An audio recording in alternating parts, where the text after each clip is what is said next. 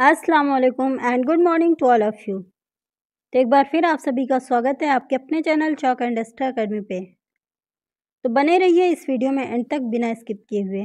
और आज का हमारा टॉपिक होगा जोश मलिहाबादी जोश मलिहाबादी की पैदाइश अठारह सौ अट्ठानवे ईस्वी और वफ़ात उन्नीस सौ बयासी ईस्वी में हुई है। तकसीम हिंद से पहले की उर्दू नज्म निगारी में अकबाल के बाद जोश मलिहाबादी की आवाज़ सबसे ज़्यादा जानदार, पुरजोश असर अंगेज़ और मकबूल ख़ास आम थी। अपनी उस आवाज़ से, जिसमें शबाब का जोश भी था और इनकलाब का वलवला भी, उन्होंने शेर की एक पूरी नस्ल को मुतासर किया और शायर शबाब व शायर इनकलाब कहलाए। शब्बीर हसन खां जोश मलिहाबादी लखनऊ में दिसंबर अठारह सौ अट्ठानबे ईस्वी में पैदा हुए। नस्लन वो आफरीदी पठान थे। उनके घराने में इल्म अदब की परवरिश बुज़ुर्गों की चली आ रही थी। जोश की इब्तदाई तालीम घर पर हुई, जिसके ज़रिया उन्होंने अरबी व फ़ारसी की ज़रूरी इस्तेदादें बहम पहुंचाई। फिर उन्होंने लखनऊ, सीतापुर, आगरा और अलीगढ़ के स्कूल में सीनियर कैम्ब्रिज तक तालीम हासिल की। 1916 में वालिद के इंतकाल की वजह से तालीम नामुकम्मल रह गई। अजीज़ों के गैर हमदर्दाना सलूक ने इन्हें घर छोड़ने पर मजबूर कर दिया और 1921 में इन्होंने कलकत्ता का सफ़र किया, यहाँ उनकी मुलाकात टैगोर से हुई।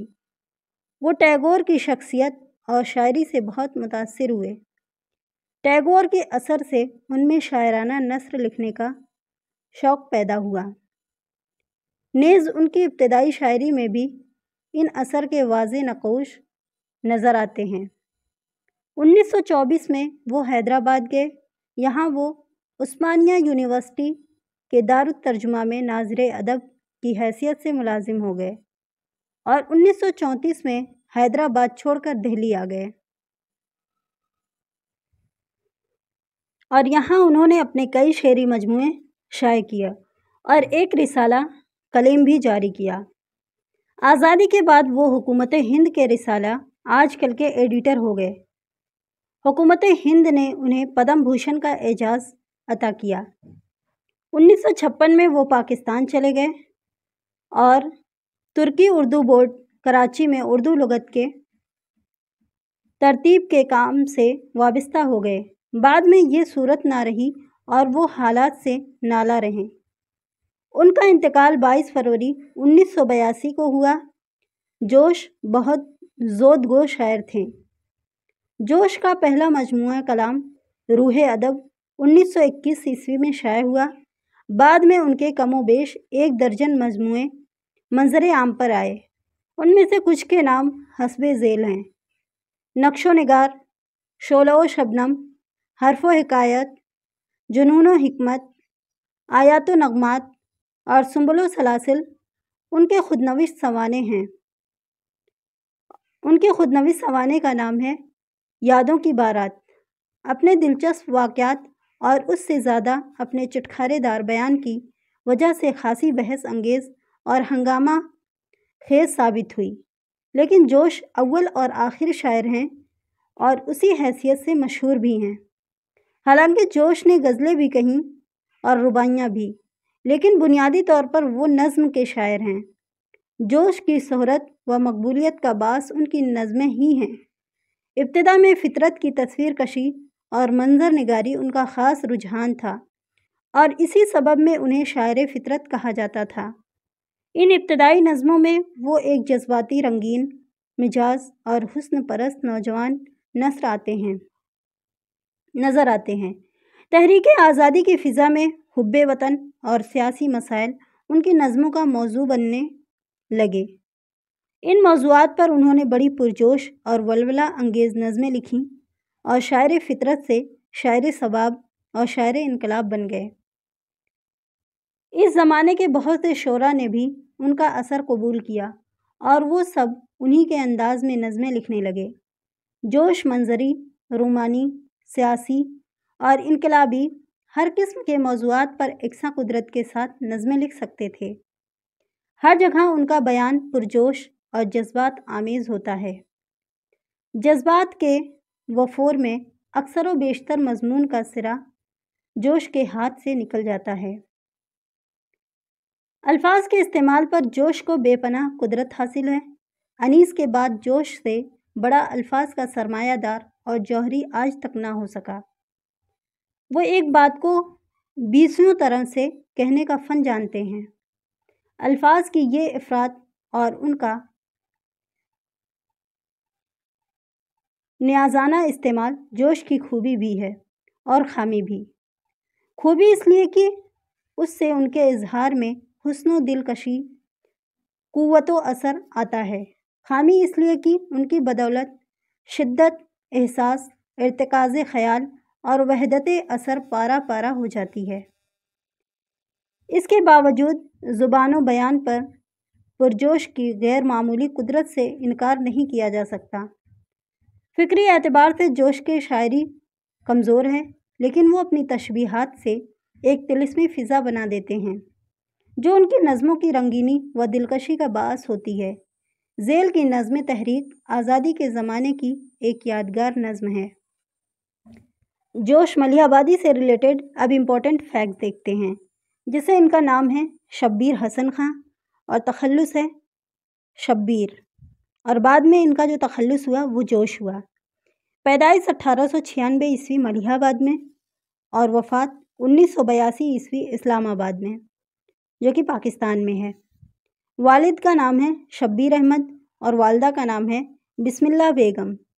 और इनके दादा का नाम है मोहम्मद अहमद खां और इनके परदादा का नाम है फ़कीर मोहम्मद खां, जो नासिक के शागिर्द थे।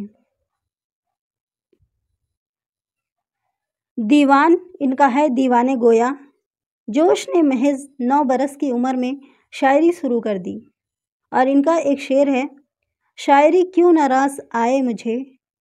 ये मेरा फ़न ख़ानदानी है। शायरी की इब्तदा गज़ल से की थी और शायरी के उस्ताद थे नज़ीर अकबर आबादी, अनीस, अकबाल और टैगोर। और जोश के दरसी उस्ताद जो थे, वो मिर्ज़ा मोहम्मद हादी रसवा थे। 1924 ईस्वी में ये हैदराबाद गए और वहाँ पर उन्होंने दारुत तर्जुमा हैदराबाद में मुलाजिम हो गए। और इनका एक सरकारी रिसाला है आजकल, जो कि दिल्ली से निकलता था। ये 1948 से 1955 ईस्वी तक इसके एडिटर रहे और रिसाला कलीम 1936 ईस्वी, दिल्ली। ये इन्हीं का रिसाला है। कलीम रिसाले को जोश मलिहाबादी ने तरक्की पसंद तहरीक में मिला लिया था। उन्नीस सौ सत्तावन में ये पाकिस्तान चले गए और वहाँ पर एक रिसाला था, उर्दू नामा। और वहाँ पर उन्होंने इसकी अदारत संभाली। शोला सबनम, ये भी इन्हीं का रिसाला है। जोश मलिहाबादी का ख़िताब था, शायर इनकलाब, शायर शबाब, शायर फितरत, शायर रुमान और शायर आज़म। उन्नीस सौ चौवन में इनको पद्म भूषण मिला। अब इनके कुछ शेरी मजमू हैं, जैसे रूह अदब। यह इनका पहला शेरी मजमू है, जो कि 1920 या 21 को माना जाता है। उसके बाद है शायरी की रातें नक्शो नगार शोला शबनम, फ़िक्र निशात हरूफ हकायात, आयात नगमात, अरशो फ़र्श, रमशो रंग सुम्बलो सलासिल, सैफ़ो सबू, सरूद खरूश, इल्हाम अफ़कार। ये इनके कुछ शेरी मजमू हैं। शख्सी मरसिया, हुसैन और इनकलाब, ये मोस्ट इंपॉर्टेंट है। शायर इनकलाब। जोश को मौलाना अब्दुल रज़ाक मलिहाबादी ने अपने अखबार हिंद कलकत्ता में 1938 में पहली मरतबा जोश को शायर इनकलाब लिखा है। जिनको शायर इनकलाब का ख़िताब मिला है, ये अब्दुल रज़ाक मलिहाबादी ने अपने अखबार हिंद में पहली बार लिखा था। इनके कुछ मरसिए हैं। जोश मलियाबादी ने कुल नौ मरसिया लिखे। पहला है आवाज़ हक, दूसरा है हुस्न और इनकलाब, ये मोस्ट इंपॉर्टेंट है। तीसरा है मस्जिद मुफ़क्र चौथा है वहदत इंसानी, पांचवा है तलु फ़िक्र और छठा है अज़मत इंसान, सातवां है ज़िंदगी और मौत, आठवां है पानी और नवा है आग और हुसैन। इनकी खुद नविश्त है यादों की बारात, ये उन्नीस सौ बहत्तर ईस्वी में लिखी गई और इनमें कुल पाँच अबवाब शामिल हैं। अब इनकी कुछ नज़में हैं जो इम्पोर्टेंट हैं। पहली नज़म है किसान, दूसरी है जंगल की शहज़ादी, तीसरी है शिकस्त ज़िंदा का ख्वाब, ये मोस्ट मोस्ट मोस्ट इंपॉर्टेंट है। चौथा है जवानी की आमद आमद, पाँचवा है उठती जवानी, और छठा है जवानी की तकाजा, और सातवीं जवानी की रात, आठवीं है जवानी के साज बर्ग बर्ग उसके बाद है सात की बहारें, भूखा हिंदुस्तान, बदली का चाँद। तो आज का वीडियो यहीं तक था। मिलते हैं नेक्स्ट वीडियो में।